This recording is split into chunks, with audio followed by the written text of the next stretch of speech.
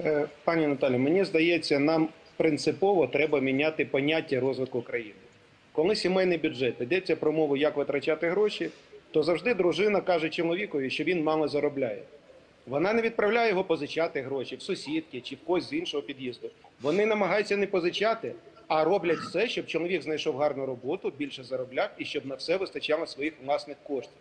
І коли нам кажуть в умовах кризи, коли ми маємо всі причини сказати нашим західним партнерам, партнерам, почекайте, давайте ми з боргами розберемося пізніше.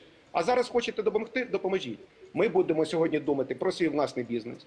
Якщо в нас є гроші віддати борги вам, то ми ці гроші вам не віддамо, а віддамо пізніше. І ніхто не каже, що ми їх спишемо. А допоможемо власному бізнесу, допоможемо лікарям, яким до цього часу і медсестрам не визначено, хто буде доплачувати 300%, і знов хочуть скинути все на місцеві бюджети.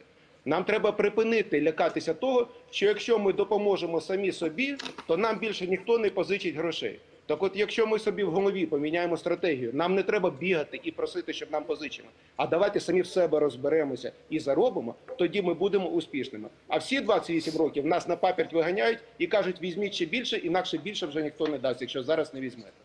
Господин Палис, это все совершенно правильные тезисы, но вопрос, как вы собираетесь заработать деньги на протяжении ближайших нескольких недель для того, чтобы Якби перекрывать ви те потребности, радилися не которые у між нас собою, есть? якби ви радилися не між собою в закритому клубі, а залучали б когось, хто може щось сказати, якщо правильні речі, можливо, б ми знайшли ще півроку назад вихід, 9 місяців назад вихід. І я хочу подякувати своєму колегі, вашому колегі економісту, який сказав перед цим, що комітет Гетьманцева, в який я входжу, де я секретар, але я не зміг нічого зробити, тому що монобільшість не тільки в парламенті, а й в комітетах. За весь час роботи прийняв 90% фіскальних законів, які збільшують фіскальний тиск е, на е, бізнес. Ні одного законопроекту не було про зменшення податків. І скільки ми про це не говорили, ніхто не дослухався. А зараз ви кажете, все правильно, но нету времени. Так его и не будет времени, если стоять на Я- коленях и брать по- деньги. Э, Господин Палец, а при всем уважении я абсолютно согласен с вами, что слишком сильно увлекаться фискализацией было совершеннейшей ошибкой.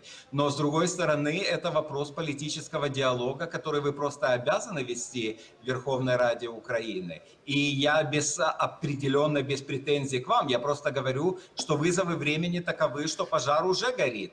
И думать по поводу того, что надо поменять сейчас в комнате, когда дом в огне, не совсем правильно.